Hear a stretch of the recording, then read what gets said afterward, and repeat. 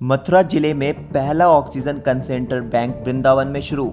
आचार्य पंडित श्री मृदुल कांत शास्त्री जी की सराहनीय पहल यागिक रतन आचार्य पंडित श्री विष्णुकांत जी, श्री शास्त्री जी की सद प्रेरणा से विख्यात भागवत आचार्य एवं प्रमुख समाज सेवी आचार्य पंडित श्री मृदुल कांत जी शास्त्री के अथक प्रयास एवं उनके शिष्यों के सहयोग से ज़िले में पहला ऑक्सीजन कंसेंट्रेट बैंक का उद्घाटन आज श्री राधा बाके बिहारी हॉस्पिटल वृंदावन में हुआ।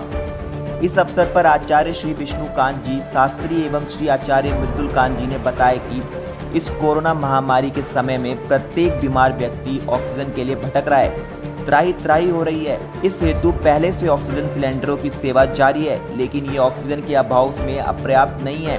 इसलिए इस सेवा का शुभारंभ किया गया है। कोरोना महामारी के इस काल में प्रत्येक व्यक्ति ऑक्सीजन के लिए भटक रहा है। समस्या बेड्स की है, ऑक्सीजन की है, दवाइयों की है। जितना हम लोग कर सकते हैं, जितनी सेवा कर सकते हैं, उतना हम लोगों को सबको अपने अपने स्तर पर प्रयास करना चाहिए।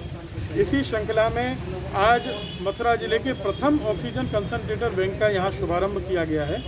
मैं आपको बता दूँ कि पहले हम लोगों ने पाँच कंसनट्रेटर लिए थे समाज के सहयोगियों के माध्यम से। आज हमारे परम आत्मीय श्री आरती गुप्ता जी जयपुर के माध्यम से हमें दस कंसनट्रेटर प्राप्त हुए हैं और ये कंसनट्रेटर मैं आपको दिखाना चाहूँगा।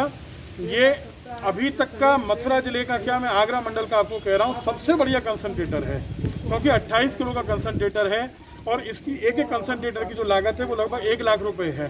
तो ये सबसे बढ़िया वाली क्वालिटी का कंसनट्रेटर है। मैं डॉक्टर गौरव उपाध्याय हूँ जो राधा वांके बिहारी हॉस्पिटल का इंचार्ज हूँ।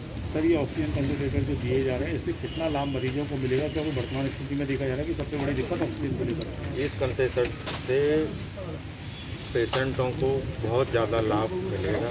उनको जो ऑक्सीजन के लेवल में जो कमी आ रही है, इसके उपयोग करने से उनकी जो ऑक्सीजन की जो कमी है, वो पूरी होगी पर इन डॉक्टर की एडवाइस के द्वारा ही डॉक्टर जैसे बताएँ, उसके द्वारा ही यूज़ करना है। ऐसे नहीं कि कंडीशन ले गए अपनी मर्ज़ी से इसको चालू कर दिया, उससे पेशेंट को लाभ के बजाय हानि ही होगी। मथुरा से पवन गुप्ता की रिपोर्ट।